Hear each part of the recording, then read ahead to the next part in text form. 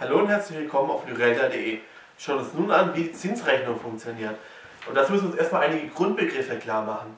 Zum ersten, ja, man hat Geld. Und das möchte ich jetzt zur Bank bringen und dafür bekomme ich nach einer gewissen Zeit Zinsen. So ist das Prinzip. Es kann natürlich auch sein, dass ich von der Bank Geld leihen muss, vielleicht um ein Haus zu finanzieren oder ein Auto. Dann muss ich der Bank noch zusätzlich Zinsen zahlen, dafür, dass ich mir von der Bank das Geld geliehen habe. Und dieses Geld, das man entweder einzahlt oder von der Bank geliehen bekommt, das nennt sich Kapital.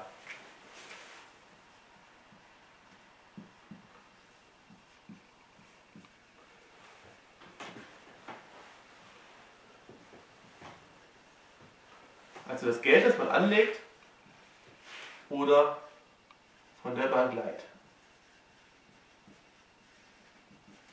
Natürlich kann es auch sein, dass man von jemand anderen als von der Bank Geld leiht und der auch Zinsen verlangt.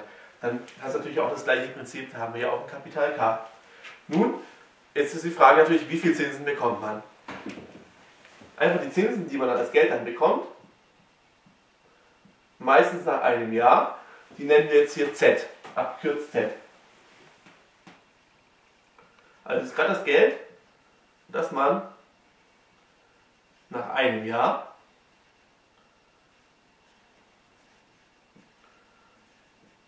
als Zinsen bekommt.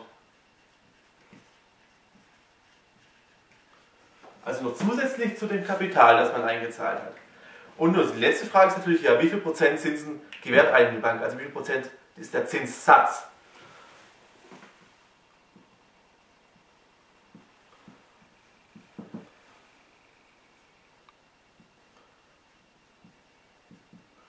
Ist gerade der Prozentsatz, der auf das Kapital, das man hat, aufgeschlagen wird.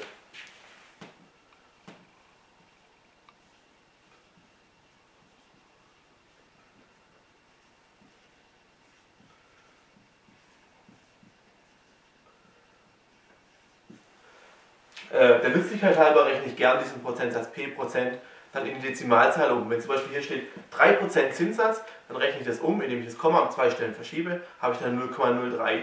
Das brauche ich dann später, wenn ich dann mit Formeln rechnen muss. Okay, machen wir uns ein Beispiel. Wir legen Geld an, 1500 Euro.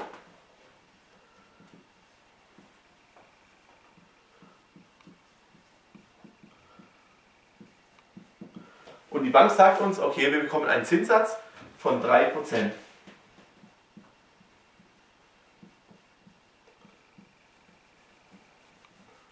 natürlich dann die Frage, ja, wenn wir uns ein Jahr später das Geld wiederholen, ja, wie, um wie viel ist es angewachsen? Das heißt, wie hoch waren dann die Zinsen?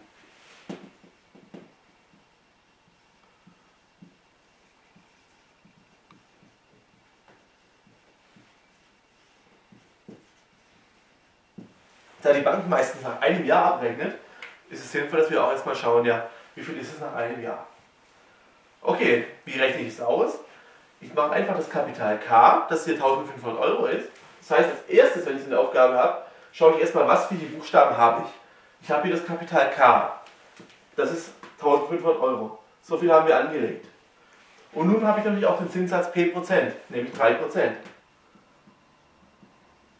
Den rechne ich um. In den Dezimalzahl das ist 0,03. Und jetzt ist natürlich die Frage, wie hoch sind die Zinsen? Das heißt, wir wollen das Z ausrechnen. Völlig logisch ist jetzt, dass wir einfach dieses Kapital K, 1500 Euro, mal den Prozentsatz machen und dann bekommen wir gerade raus, wie viel dazugekommen ist. Das heißt, ich mache das Kapital mal P, also 1500 Euro,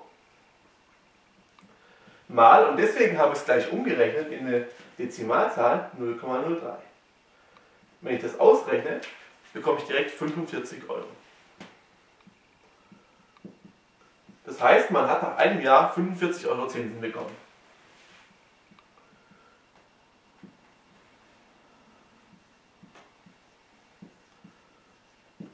Das neue Kapital, wenn ich jetzt das Geld nicht abhebe, sondern auf dem Konto zum Beispiel lasse, dann sind es 1500 Euro plus 45 Euro. Also hätten wir jetzt neues Kapital 1545 Euro.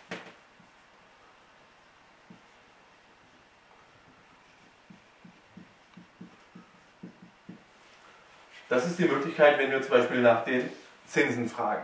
Es könnte die Aufgabe auch noch anders sein. Es könnte sein, dass ich von der Bank vorgegeben habe, wir haben 3% den Zinssatz für 3%.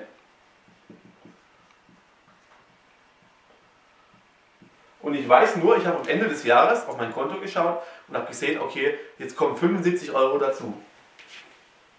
Also nach einem Jahr 75 Euro Zinsen. Und jetzt muss ich mich natürlich fragen, ja, wie viel Geld hatte ich am Anfang da? Wie hoch war also das Kapital?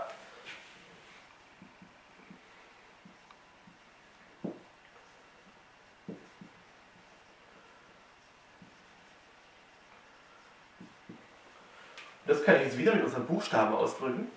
Der Zinssatz von 3%, das heißt wieder P ist 3% oder 0,03 und ich weiß nun, ich habe Z die Zinsen von 75 Euro.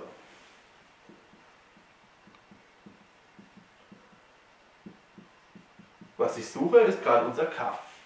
Nun jetzt überlege ich also, wie könnte ich mit dem Z und dem P gerade unser K rausbekommen. Das K muss viel größer sein als das Z. Ja, unser Kapital, das war ja noch durchaus eine staatliche Summe in dem Fall, wir 75 Euro Zinsen bekommen. Okay, was kann ich jetzt machen? Z mal P, das wird nicht funktionieren, weil Z mal so eine kleine Zahl, die wird noch viel kleiner. Also rechne ich tatsächlich z geteilt durch p. Wenn ich z geteilt durch eine sehr kleine Zahl mache, werde ich eine sehr große Zahl rausbekommen.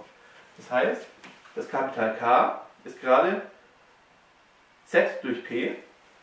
Setze ich wieder ein. Das heißt in diesem Fall 75 Euro durch 0,03.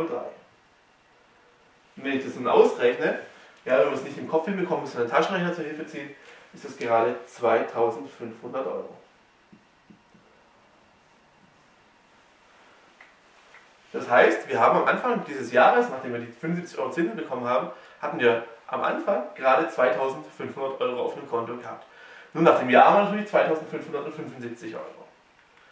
Diese Möglichkeit gibt es. Jetzt könnte noch eine andere Möglichkeit sein, dass gefragt ist, wie hoch der Prozentsatz war. Stellen wir uns vor, wir haben jetzt 10.000 Euro in die Bank eingezahlt oder in ein Konto, je nachdem, was wir halt haben.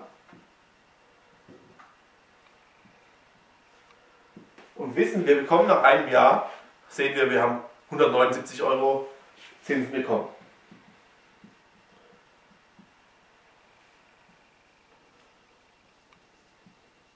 nun wollen wir wissen, ja, wie viel Prozent hat uns die Bank dann gegeben? Das heißt, wie hoch war der Zinssatz?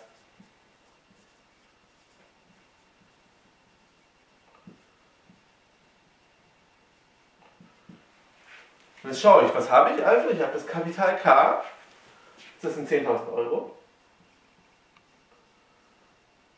Und ich habe die Zinsen, die ich rausbekommen habe, Z. 179 Euro. Was ich suche, ist P. Und nun hier kann ich vorgehen, wie ihr es zum Beispiel auch kennt von, der, ähm, von den Häufigkeiten, relativen Häufigkeiten. Man nimmt einfach die Zahl, die wir haben, durch die Gesamtanzahl. Das heißt in dem Fall 179 durch 10.000. Also ist P ist Z durch K. 179 Euro durch 10.000. Somit ist auch klar, wir bekommen eine kleine Zahl raus. Schließlich wollen wir die an den Prozent umrechnen, also soll sie relativ klein sein. 179 durch 10.000, das ist 0,0179. Und das umgerechnet in Prozent setze ich das Komma um 2 nach rechts, also 1,79 Prozent. Das heißt, ich weiß, der Zinssatz war 1,79%, den uns die Bank gewährt hat. Nun ist es jetzt ein bisschen umständlich mit diesen ganzen Formeln, die wir hier haben. K mal P, Z durch P oder hier Z durch K auswendig zu lernen. Deswegen haben wir eine kleine Merkhilfe, die wir in Form eines Dreiecks gestalten können.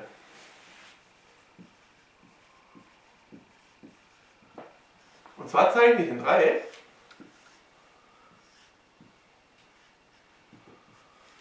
und dann äh, werte ich einfach die Ergebnisse hier rein. Das heißt, hier oben kommt Z hin, hier kommt K hin und hier kommt P. Und jetzt gehe ich folgendermaßen vor. Ich möchte zum Beispiel Z haben. Dann decke ich das Z ab und schaue, was da steht. K mal P. Dann steht hier Z gleich K mal P. Wenn ich zum Beispiel das K möchte, decke ich das K ab, steht hier Z, dieser Strich hier ist ein Bruchstrich, Z geteilt durch P. K ist Z geteilt durch P. Und wenn ich das P möchte, teile ich das hier ab und hier sehe ich dann Z Bruchstrich K, also Z geteilt durch K, Genau das ist die Formel. So kann man sich mit einem Schlag, wenn man sich nur das Dreieck merkt, diese drei Formeln merken. Schaut doch mal auf der Homepage www.lyrella.de vorbei, besucht uns bei Facebook. Dankeschön.